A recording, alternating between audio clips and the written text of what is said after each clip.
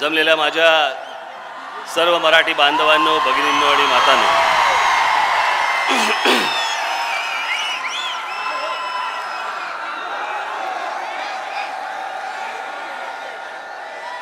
या दिवसाला तीन तीन चार चार सभा घेऊन आवाजाचं काय होतं?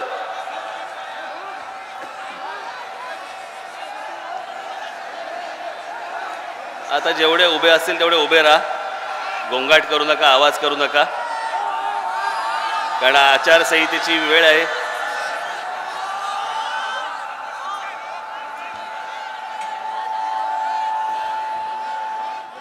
सर्वप्रथम मी आपणा सगळ्यांची दिलगिरी व्यक्त करतो की मला यायला उशीर झाला पण मी काय जाणून बोजून उशिरा आलो नाही. या संपूर्ण मराठवाड्यामधनं त्या रस्त्यांवरनं वाटचाल करताना एक रस्ता धड नाही एक रस्ता.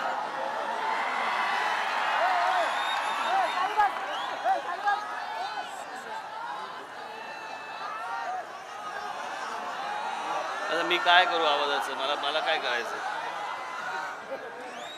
कोण बघतं रे त्या आवाजाचं काय?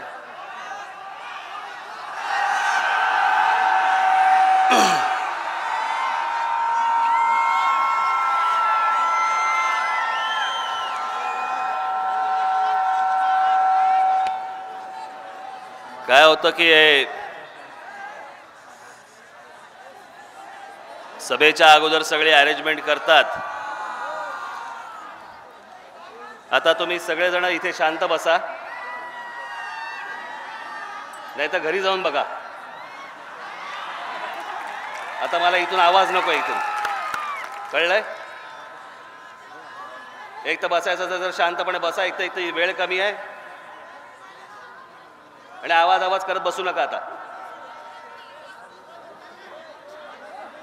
मी काही करू शकत नाही त्या गोष्टीला आता.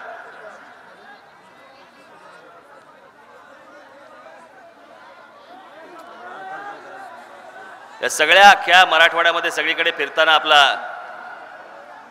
एक रस्ता धड हो. सगळ्याला खड्डे पडलेले वाट लागलेली सगळ्या रस्त्यांची.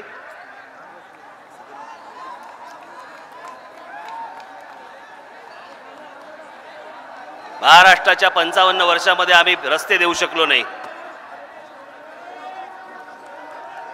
जशी रस्त्यांची वाट तशी आमच्या शहरांची वाट.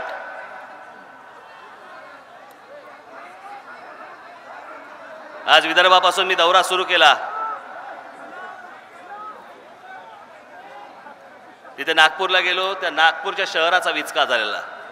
औरंगाबाद शहराचा विचका मुंबईचा विचका पुण्याचा विचका ठाण्याचा विचका नाशिकचा विचका इथे नांदेडचा विचका लातूरचा विचका. काही आकार उकार नावाची काही गोष्टच उरलेली नाही आहे सगळ्या शहरांना.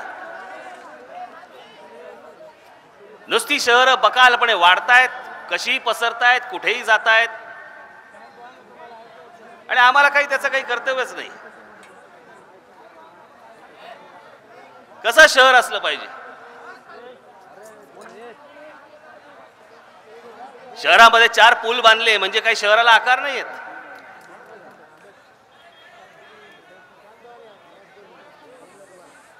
ज्या शहरामध्ये आपण राहतो त्या शहरामध्ये जर समजा आपण तिथे घरातनं बाहेर पडल्यावरती आपल्याला वाटलं पाहिजे की काय छान शहरामध्ये मी राहतोय.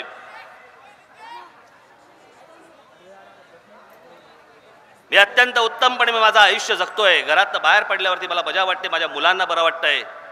माझ्या कुटुंबाला बरं वाटतंय की या शहरामध्ये मी राहतोय. एक शहर नाही हो.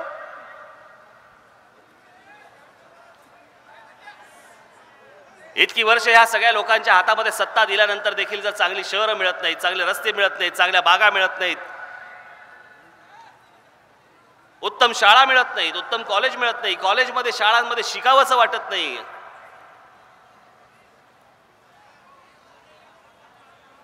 आमची बा आमच्या महाराष्ट्राची पंचावन्न वर्ष अशीच गेली संयुक्त महाराष्ट्राची आणि देशाच्या स्वातंत्र्य मिळून आम्हाला सदुसष्ट वर्ष अशीच गेली आमची.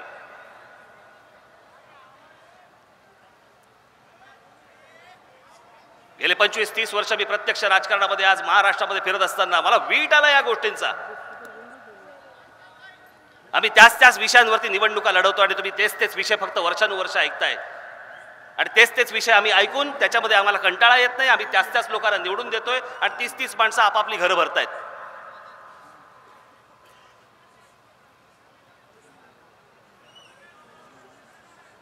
चार विषयांवरती आम्ही चार विषयांच्या पलीकडे आम्ही गेलो नाही. आयुष्यामध्ये गेलो नाही निवडणुकीत गेलो नाही. आम्ही चार विषयांच्या पलीकडे आम्हाला विचार करायला वेळ मिळाला नाही. आम्ही रस्ते देऊ पाणी देऊ वीज देऊ नोकऱ्या देऊ.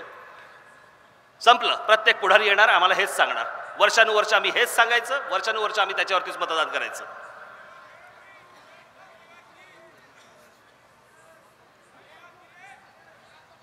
माझी आता निलंगेला सभा झाली तिकडे ते निलंगेकर पाटील. आज या मराठवाड्याने चार मुख्यमंत्री दिले. शंकरराव चव्हाण निलंगेकर पाटील विलासराव देशमुख आणि हे अशोक चव्हाण.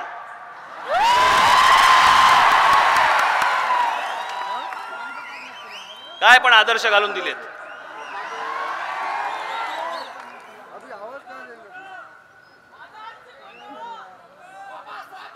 या सगळ्या चारी आजपर्यंत मुख्यमंत्र्यांना मराठवाड्यात इतके चार मुख्यमंत्री गेल्यानंतर देखील मराठवाडा आमचा भकास. आमच्या मराठवाड्याच्या सगळ्या शहरांची दाई ना.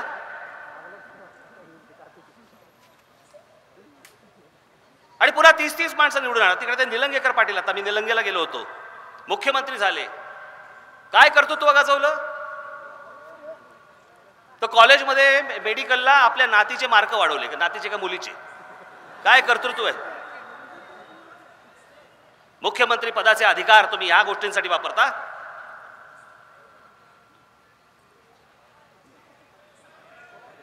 तिथे त्या निलंगेकर पाटलांचा एक मुलगा काँग्रेसमधनं उभा आणि एक नातू त्यांचा भाजपमधनं उभा. वा रे वा.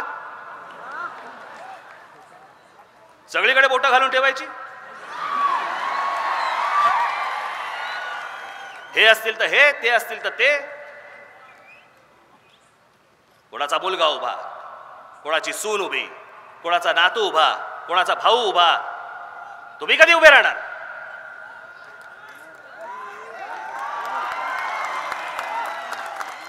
यांचे नातेवाईक पोचण्यासाठी तुमचा जन्म झाला काय?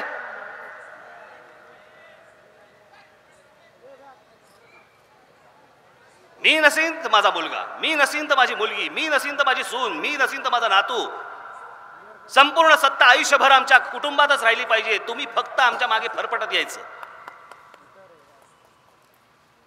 तुम्ही फक्त आमची हुजरेगिरी करायची.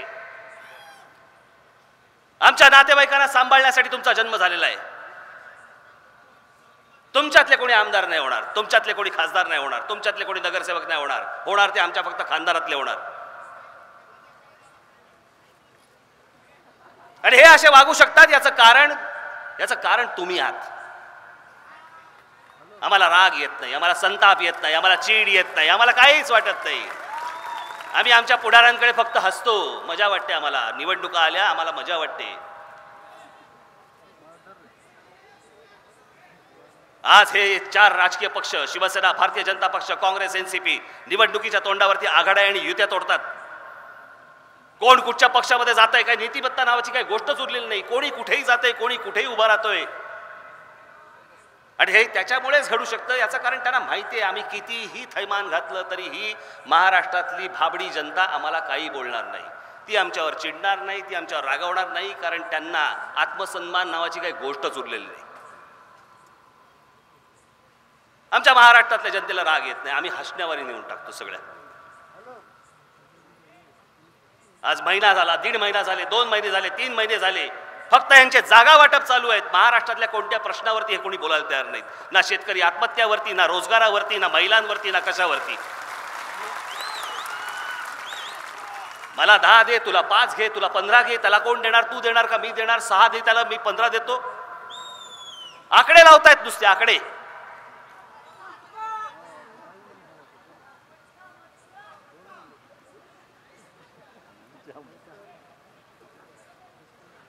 हे सगळे असे वागू शकतात याचं कारण त्यांना माहिती आहे. की वर्षानुवर्ष आम्ही असेच वागत राहिलो. वर्षानुवर्ष फक्त आम्ही स्वतःचा विचार केला आम्ही आमच्या तोंबड्या भरल्या आम्ही आमच्यासाठी पैसे केले उभे केले यांच्यासाठी काही केलं नाही पण ह्यांना काय कळतंय? ही महाराष्ट्रातली जनता आम्ही फक्त शिटी मारली की आमच्या मागे येणार धावत येणार.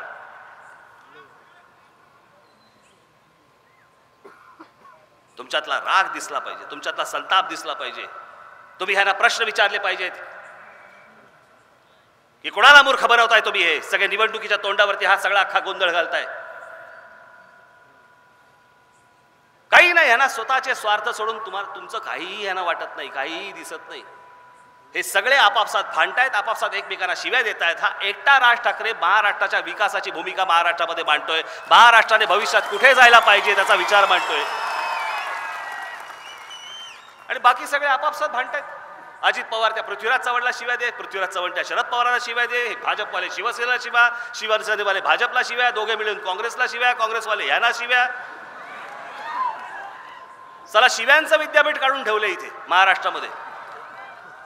चिखल फेक. एक पक्ष सांगायला तयार नाही की मी माझ्या हातात सत्ता दिल्यावर मी भविष्यात काय करेन माहितीच नाही करण्याना मला नाही यांच्यासारखं वागायचं आणि मला जमणार पण नाही. आज या क्षणाला माझ्याकडे विकास आराखडा. मी माझं पहिली सभा ज्या वेळेला घेतली पक्षाची त्या पक्षाच्या पहिल्या सभेमध्ये मी सांगितलं होतं कारण मला वीट आला.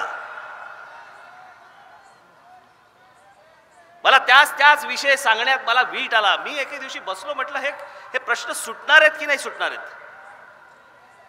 महाराष्ट्राच्या विजेचा प्रश्न महाराष्ट्राच्या पाण्याचा प्रश्न महाराष्ट्रातल्या महिलांचा प्रश्न महाराष्ट्रातल्या शेतकऱ्यांचा प्रश्न महाराष्ट्रातल्या बेरोजगारांचा प्रश्न. काही रोजगार उभा राहणार आहे की नाही उभा राहणार आहे? कसा राह बरं राहायचा असेल तर कसा उभा राहणार?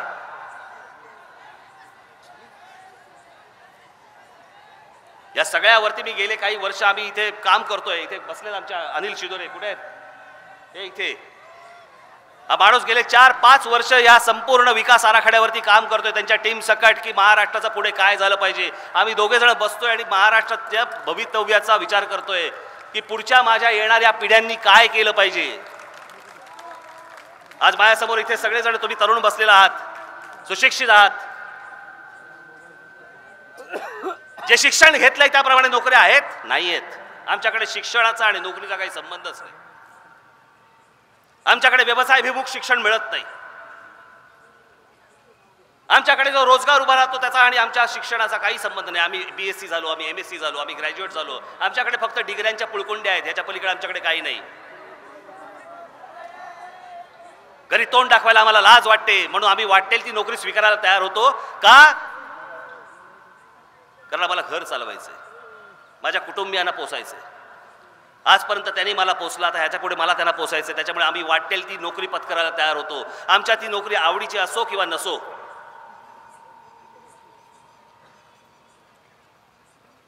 हे इतक्या वर्षांचं वाढून ठेवलं तुमच्यासमोर? मी आज महाराष्ट्रामध्ये एक वेगळा विचार घेऊन जातोय. रोजगार हवाय रोजगार मिळेल. आणि तो विविध मार्गाने विविध प- प्रकारे तुम्हाला मिळू शकतो. तुमच्या आवडीचा मिळू शकतो. तुम्हाला ज्याच्यात तुम्ही मजा करू शकता तुम्ही एन्जॉय करू शकता लाईफ तुम्हाला आनंद घेता येईल. तुमच्या आयुष्याचा आनंद तुम्हाला ज्या कामामधनं मिळेल ते काम तुम्हाला करायची संधी आहे. नुसतंच आलेलं काम फक्त करायचं आणि उरकायचं आणि संध्याकाळी घरी जायचं पगार घेऊन अशी कामं करून होत नाही. तुम्ही जे काम करता त्याच्यामुळे तुम्हाला आनंद मिळाला पाहिजे. सचिन तेंडुलकर ज्या वेळेला क्रिकेट खेळतो तो क्रिकेट खेळताना त्याला त्या त्याच्या त्या गोष्टी त्याला आनंद वाटतो. की मी हे करतोय मी हे खेळतोय याच्यात मला आनंद आहे. लता मंगेशकर ज्या वेळेला गाणं गातात त्यावेळेला त्यांना असं वाटतं हे मला आवडतंय हे माझं मला आनंद देतंय मला आयुष्यात आनंद देतंय. ज्यावेळेला तुम्हाला तुमच्या कामामध्ये आनंद मिळेल त्यावेळेला तुम्ही आज करत असलेल्या कामापेक्षा शंभर पट जास्ती काम करता. कारण तुम्हाला ते कामच वाटत नाही.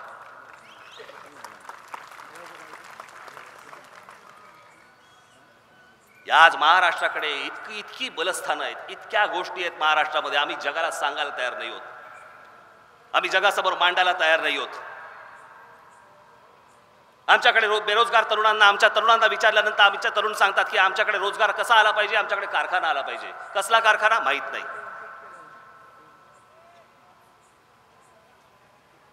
या ज्या माझ्या विकास आराखड्यामध्ये ज्या गोष्टी आणलेल्या आहेत सगळ्यात मोठा विषय जो मी पहिल्यापासून गेले अनेक महिने मी मांडतोय अनेक वर्ष मी मांडतोय ज्याच्याकडे कोणाचं लक्षच नाही. तो विषय म्हणजे पर्यटन. आपल्याकडे पर्यटन मंत्री म्हटला की साधारणपणे मंत्रिमंडळातला तडीपारी लागलेला मंत्री म्हणून समजतात. की त्या मंत्र्याला काही किंमत नाही काही शून्य किंमत त्याला बजेट नाही काही नाही काही नाही. कारण आम्ही कधी पर्या पर, पर्यटन नावाची गोष्टच कधी विचार नाही केला.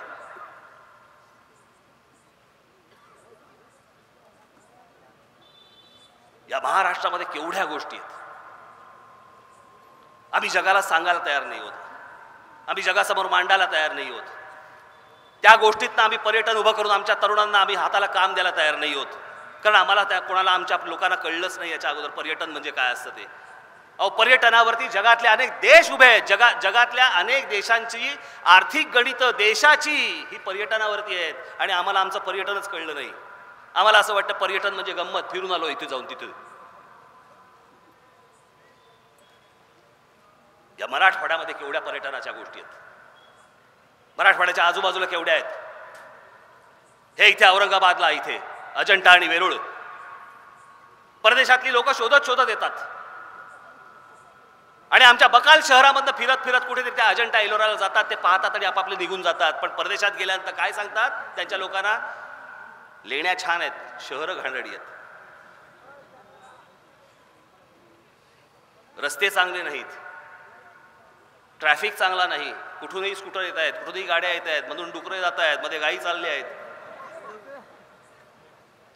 काही त्याला आकार नाही उकार नाही काही नाही. आमच्याकडे एवढ्या गोष्टी वाढून ठेवलेल्या आहेत. अहो अजंठा वेरूळ वेरूळसारखं जर एखादी लेणी जर परदेशामधल्या कुठच्या देशामध्ये जर असती ना आज हजारो कोटी रुपये त्यांनी आज त्याच्यावरती उभे केले असते. आणि तिकडच्या युवकांना तिकडच्या तरुणींना तरुणांना आज इतक्या मोठ्या प्रमाणावरती व्यवसाय आणि नोकऱ्या उपलब्ध करून दिल्या असत्या. पण आमच्याकडे सुचतच नाही.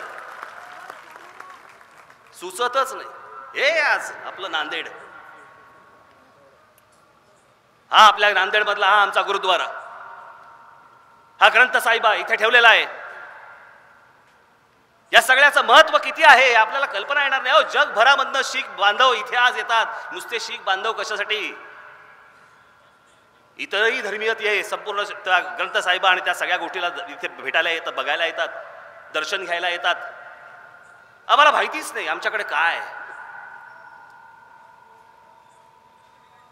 या ग्रंथसाहेबाचं महत्त्व काय? या गुरुद्वाराचं महत्त्व काय? की सुवर्ण मंदिरात जरी तुम्ही तिकडे गेलात तरी आयुष्याच्या शेवट्याला तुम्हाला इथे दर्शन घेतल्याशिवाय तुमचं आयुष्य पूर्ण होत नाही. कोणत्या सुविधा दिल्या आम्ही? आमच्या राज्यकर्त्यांनी कोणत्या सुविधा आणल्या? इथे कोणत्या प्रकारची हॉटेल्स आली? इथे कोणत्या प्रकारचे उद्योग आले? त्या विषयावरती की ज्याच्यातनं लोक परदेशातनं येतील? अहो इथे एक विमान येत नाही एक विमान परदेशातनं.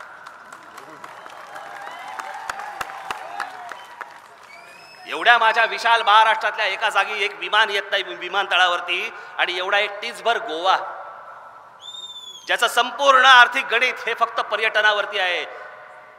एक एवढंसं राज्य गोवा त्या गोव्यामध्ये आज वर्षाला बाकीची विमानं तर येऊ येतातच पण खाजगी विमानं चार्टर्ड केलेली जगभरातली विमानं वर्षाला किती येतात माहिती हजार ते बाराशे विमानं तिथे गोव्याला येतात.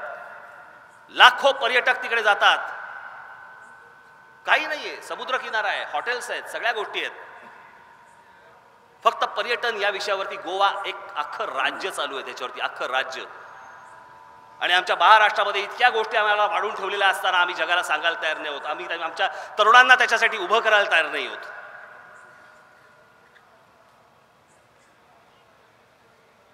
सभेची सुरुवात करताना आपण शिवछत्रपतींना हार घालतो. हा काय शोपीस नाहीये.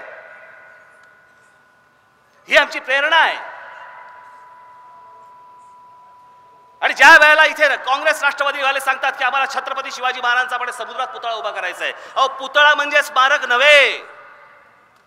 स्मारक म्हणजे जिथं आम्हाला आम्हाला प्रेरणा मिळेल. आम्हाला जीवन कसं जगायचं ते कळेल. आमचा राजा किती मोठा होऊन गेला हे जगाला दाखवता येईल. ते आम्हाला समजेल. ती जागा.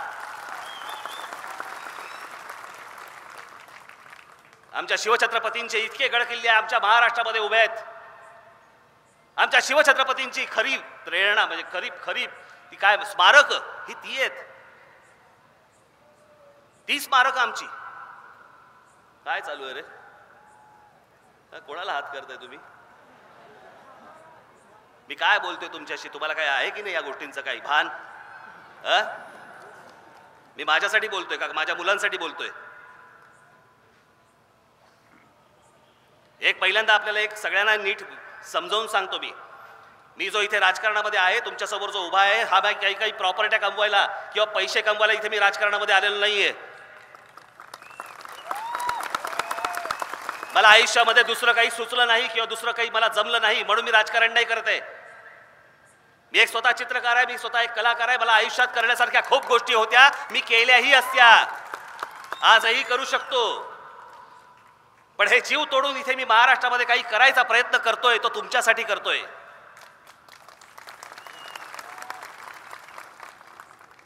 काय घरात का अन्नाची दशा नाहीये की ज्याच्यासाठी म्हणून मी इथे भटकंती करतोय आणि त्याच्यासाठी म्हणून मी या तुमच्यासमोर येतोय.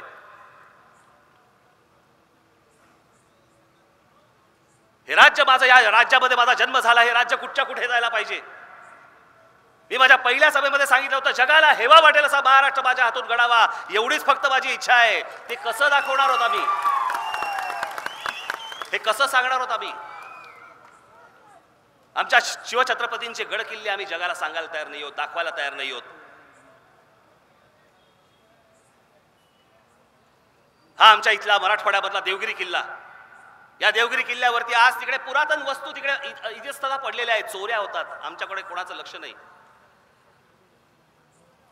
आमचा इतिहास आम्ही जगासमोर मांडायला तयार नाही होत. या आमच्या शिवछत्रपतींचा संपूर्ण इतिहास हा ब्रिटिशांनी लिहिला फ्रेंच लोकांनी लिहिला डच लोकांनी लिहिला मोगलांनी लिहिला. पण आमचा राजा आम्हालाच नाही समजला. आम्ही जगासमोर मांडू शकलो नाही.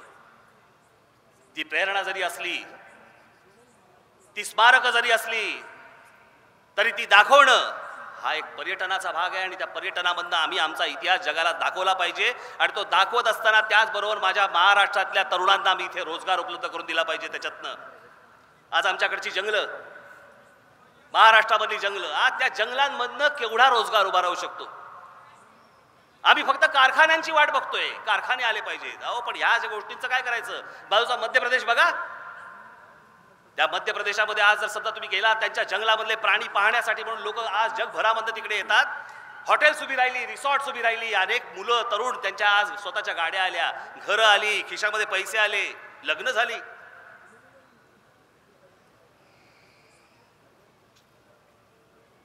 आमच्या कोकण किनारपट्टीची साडेसातशे किलोमीटरची आमची समुद्र किनारपट्टी आम्ही काही करत नाही होत. गोव्याला होतं पर्यटन आमच्याकडे नाही होत. या आपल्या मराठवाड्याच्या बाजूचा आमचा बुलढाणा जिल्हा जिकडे एक एक विवर आहे. कसलं आहे? उल्कापातामुळे तयार झालेलं लाखो वर्षापूर्वीचं आहे. जगामध्ये फक्त तीन विवर आहेत. त्यातलं तीन विवरापैकी एक विवर आपल्या देशात आहे आणि ते देशातलं आपल्या महाराष्ट्रात आहे. आम्ही कोणाला दाखवायला तयार नाही होत आम्ही कोणाला सांगायला तयार नाही होत आमच्याकडे काय वैभव आहे? हे एक पर्यटन क्षेत्र एक पर्यटन नुसतं क्षेत्र.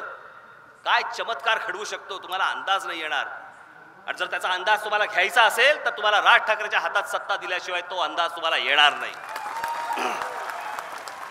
यांच्या कोणाच्या बापाला देखील समजणार नाही की पर्यटन म्हणजे काय असतं ते. हे सगळे राज्य करते. कारण यांचं पर्यटन सगळं बाहेर पैसे ठेवण्यासाठी. त्याला काही कर्तव्य नाही या गोष्टींचं. आज आमचा शेतकरी आत्महत्या करतोय. आज आमच्याकडे शेताला पाणी पुरत नाही आहे आज आमच्याकडे योग्य शिक्षण मिळत नाही आहे आज आमच्याकडे कॉलेजमध्ये मुलं जात आहेत पण त्या शिक्षणाचा त्यांच्या नोकरीशी आणि त्यांच्या व्यवसायाशी काही संबंध उरलेला नाही आहे आज आमच्याकडची मुलं आज आमच्याकडच्या मुली आमच्याकडे गुण असून देखील परदेशामध्ये जात आहेत. आणि आमचे गुण तिथे परदेशामध्ये देत आहेत आणि त्यांचं भलं करतायत आमच्या देशाचं भलं नाही होते.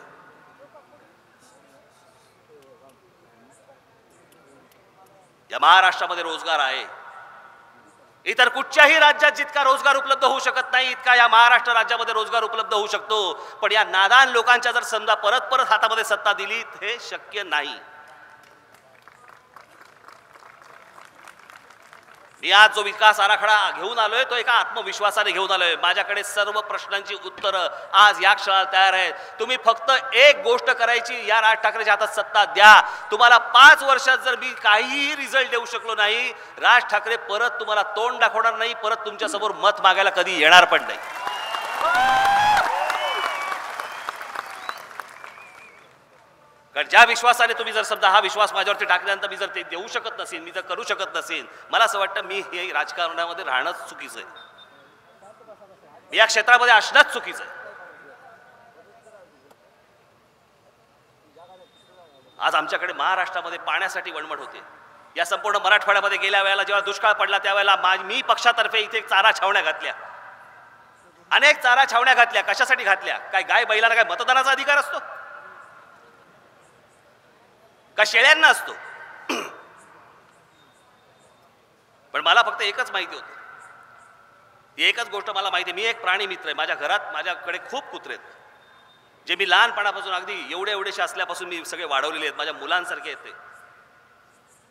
आज तोच शेतकरी बांधव ज्या वेळेला घरामधली एखादी गाय एखादी म्हैस एखादा बैल एखादी शेळी ज्या वेळेला एवढी एवढीशी आणतो आपल्या घरामध्ये आपल्या लहान मुलासारखी आणतो लहान मुलासारखी वाढवतो आपल्या डोळ्यात एखादी मोठी होते आणि दुष्काळामध्ये फक्त आम्हाला खायला मिळत नाही तर मी माझ्या गायीना चारा कुठून देऊ माझ्या म्हशीना चारा कुठून देऊ? आणि त्याच्यामुळे त्यांना सोडून द्यावं लागतं आणि ते खाटकांकडे जाऊन ती वाढवलेलं माझं मूल तो खाटी खटा खटा खटा खटा कापतो. बघवलं तरी जातं का हो या सगळ्या गोष्टी? गावाच्या गावं सोडून तांडेच्या तांडे आज ब- मराठवाड्यामधनं बाहेर पडतात विदर्भामधनं बाहेर पडतात. आपलं गाव सोडून आपलं घर सोडून ज्याला बाहेर येतात लहानपणापासून पाळलेली आमची सगळी पोरं लहान ही जनावरं सगळी आम्हाला खटकाकडे द्यावी लागतात. त्यातूनही काही झालं नाही तर आत्महत्या आहेच. गेल्या इतक्या वर्षामध्ये साठ हजार शेतकरी बांधवांनी महाराष्ट्रामध्ये आत्महत्या केल्या. आमच्या सरकारला लाज देखील वाटत नाही. आणि आम्ही फक्त फिदी फिदी हसतो या गोष्टींवरती. आमचे राज्यकर्ते येणार आम्हाला लाथा मारणार आम्हाला वाटेल त्या गोष्टी बोलणार वाटेल तसं बोलणार. आणि त्याच्यानंतर आम्ही फक्त महाराष्ट्रातली भाबडी जनता आम्ही या सगळ्या लोकांकडे फक्त हसायचं आणि सोडून द्यायचं. काय छान बोललाय. मला माहिती आहे मी आता एक गोष्ट बोलल्यानंतर तुम्ही हसणार आहात. मला कल्पना आहे कारण आम्हाला त्याची जाणीवच नाही ना या गोष्टींची. आमचा समोरचा माणूस राज्यकर्ता अपमान करतो याची आम्हाला जाणीवच नाही. कारण मनच मेली. तुमच्या शेतामध्ये पाणी येत नसेल तर मी काय तुमच्या कालव्यात येऊन मुतू का? असं बोलणारा अजित पवार हा तुमच्या महाराष्ट्रामध्ये जन्माला येतो.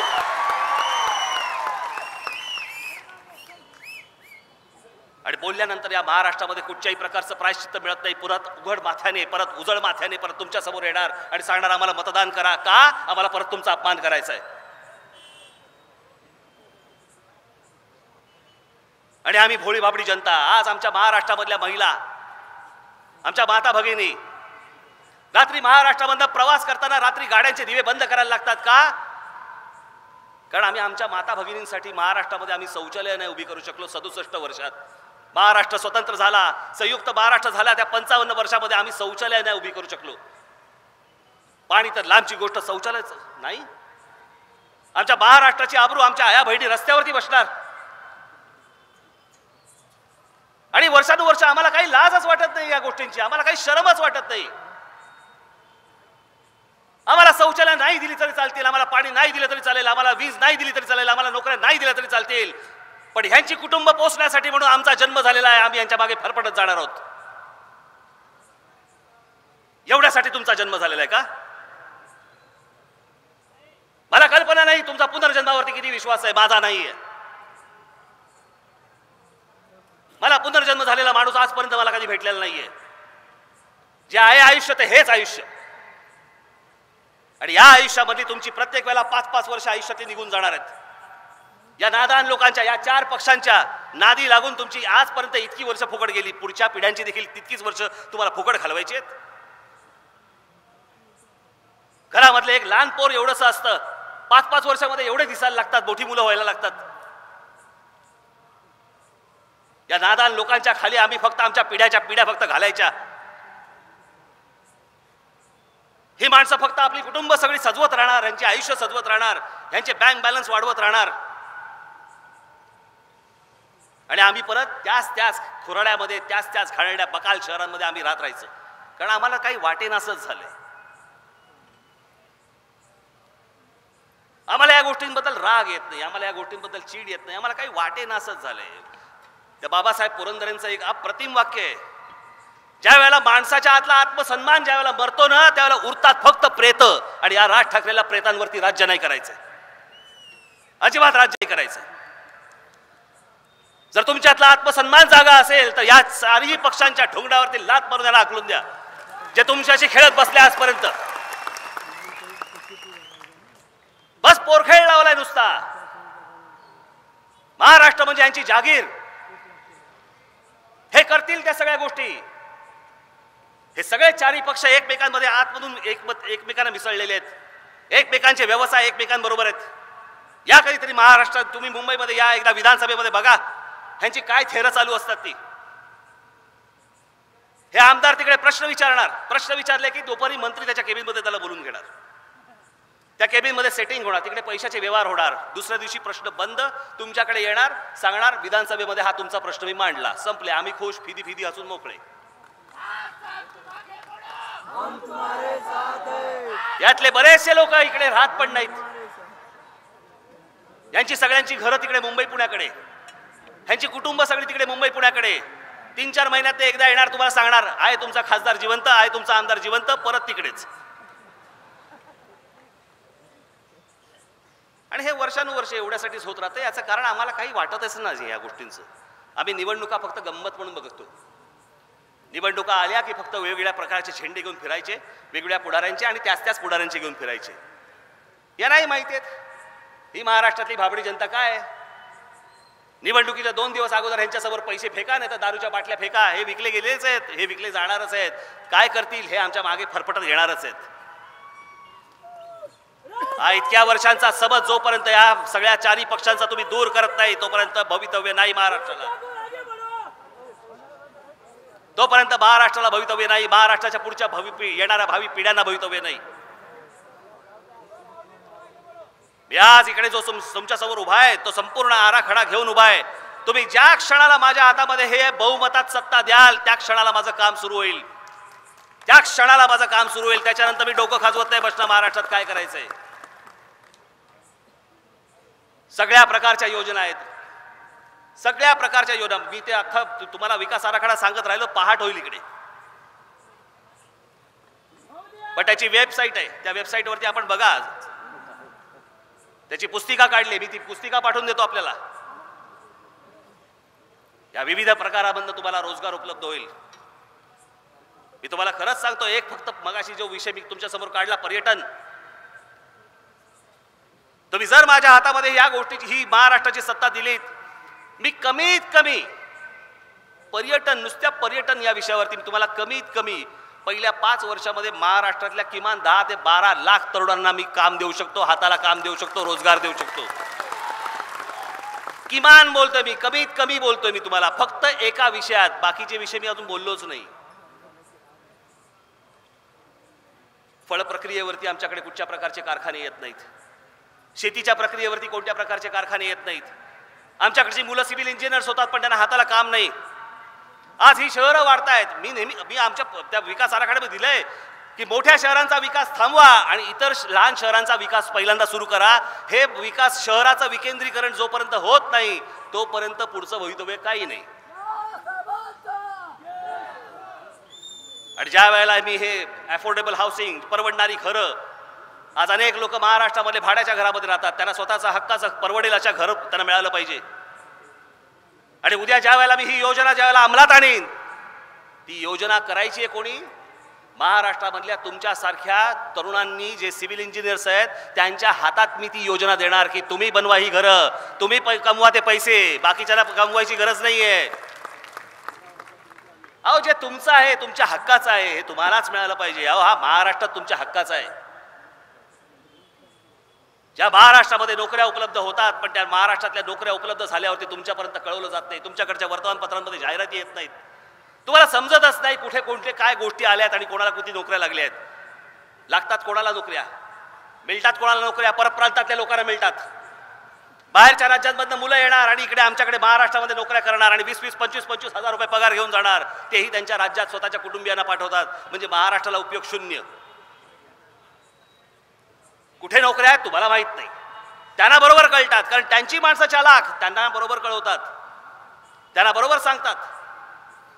मी ज्या वेळेला मराठी मराठी मराठी ज्यावेळेला करतो हे कशासाठी करतो? कारण बाकीच्या प्रांतातली लोक त्यांच्या त्यांच्या माणसांसाठी कशी जागृत असतात आपल्याला कल्पना येणार नाही.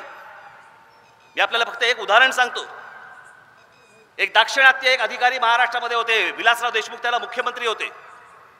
आणि ते मुख्यमंत्री असताना त्या दाक्ष एक बी एम डब्ल्यू नावाच्या कंपनीचा कारखाना महाराष्ट्रामध्ये येत होता. इतका मोठा कारखाना. विलासराव देशमुखांना काहीतरी त्यावेळेला वेळ नव्हता म्हणून त्या दाक्षिणात्य अधिकाऱ्याला सांगितलं बाबा हे त्या आलेत लोक जर्मनीवरनं त्यांना यांच्याशी बोलून घ्या. तो माणूस बसला. ती सगळी लोक समोर बसली. आणि ह्या आधी दाक्षिणात्य अधिकाऱ्यांनी त्याच्या त्यांच्याशी बोलताना सगळ्याला नाही सर- नाहीने सुरुवात केली. की जमीन मिळणार नाही पाणी मिळणार नाही तुम्हाला वीज मिळणार नाही मग इथे तुम्हाला मा माणसं कशी मिळतील आणि मग तुम्हाला असं काय सगळ्या अडचणीत सांगत बसला अडचणी. शेवटी ते जर्मनीवरनं आलेले लोक बोलले की बरं ठीक आहे आता मग आम्हाला नाही काढत आम्ही इथे कारखाना आम्ही निघतो. ते निघतो बोलले केबिनमधनं बाहेर पडले. आणि बाहेर पडल्या पडल्या त्या दाक्षिणात्य अधिकाऱ्यांनी त्याच्या तामिळनाडमधल्या एका सहकार्याला फोन केला आणि सांगितलं बी एम डब्ल्यूचा कारखाना इथे महाराष्ट्रामध्ये ही लोक घेऊन आलेत. मी ह्यांना नाकारलं इथे महाराष्ट्रामध्ये. हे त्यांची नावं हे त्यांचे टेलिफोन नंबर ताबडतोब त्यांना कॉन्टॅक्ट करा आणि तामिळनाडमध्ये बी एम डब्ल्यूचा कारखाना वळवा. बी एम डब्ल्यूचा कारखाना तामिळनाडमध्ये गेला महाराष्ट्रात नाही आला. तुमचा विचार नाही. तुमचा नाही विचार तामिळनाडमधल्या लोकांचा विचार. एक तामिळ अधिकारी एक दाक्षिणात्य अधिकारी माझ्या राज्याचा माझ्या राज्यातल्या मुलांचा माझ्या राज्यातल्या मुलींचा एक अधिकारी विचार करू शकतो. आमच्याकडचे राज्यकर्ते नाही करू शकत. आमच्या महाराष्ट्रामध्ये तुमच्या हक्काच्या नोकऱ्या जर उत्तर प्रदेश आणि बिहार आणि झारखंडमध्ये येऊन मुलं घेऊन जाणार असतील तुम्ही काय करणार आहात मग? आमचे कुठे गेले राज्यकर्ते? आमचे कुठे गेले विरोधी पक्ष? काय करतायत काय हे सगळे राजकीय पक्ष? त्यांना काही तुमचं देणं घेणं नाहीये. त्यांना काही तुमची पडलेली नाहीये. बस मतदान करा मतदान करा तोपर्यंत जिवंत राहा दुसऱ्या दिवशी आत्महत्या करून मोकळे झालात तरी बेहत्तर. ही यांची तुमच्याकडे बघण्याची आजपर्यंतची वृत्ती. आणि म्हणून बाबांनो मी आपल्याला एवढंच सांगायला इथे आलोय. मी एक विकास आराखडा एका आत्मविश्वासाने घेऊन या महाराष्ट्रामध्ये मी आपल्याशी चर्चा करायला भाषण करायला मी उभा राहिलोय. मी बघाशी सांगितल्याप्रमाणे जगाला हेवा वाटावा असा महाराष्ट्र माझ्या हातून घडावा एवढीच फक्त माझी इच्छा. आणि जे मी आजपर्यंत जगात पाहिलंय ते जर मी माझ्या महाराष्ट्रामध्ये आणू शकलो तर माझ्यासारखा भाग्यवान दुसरा कोणीही नसेल. आणि ती गोष्ट करण्याची संधी येण्या येत्या पंधरा तारखेला आपण मला द्याल अशी अपेक्षा आहे. नुसत्या एक एक आमदार नव्हे. आज दोनशे एकतीस मतदारसंघांमध्ये हे सगळे उमेदवार उभे केलेले आहेत. सगळ्या ठिकाणी मला पोहोचणं अशक्य आहे. पण माझी आपल्याला हात जोडून विनंती आहे की आपले कोणी मित्रपरिवार नातेवाईक जे कोणी लोक असतील त्याला फोन करून सांगा त्याला भेटून सांगा की बाबा प्रत्यक्ष आता या क्षणाला तरी राज ठाकरे तुमच्याकडे येऊ शकत नाही. पण या निवडणुकीला पंधरा तारखेला महाराष्ट्र नवनिर्माण सेनेच्या सर्व उमेदवारांना रेल्वे इंजिन या निशाणीवरती बटन दाबून आपण प्रचंड प्रचंड मताने त्यांना सगळ्यांना विजयी करावं असं एक आव्हान आपणा समोर करतो आणि आपणा सर्वांची मी रजा घेतो. जय हिंद जय महाराष्ट्र.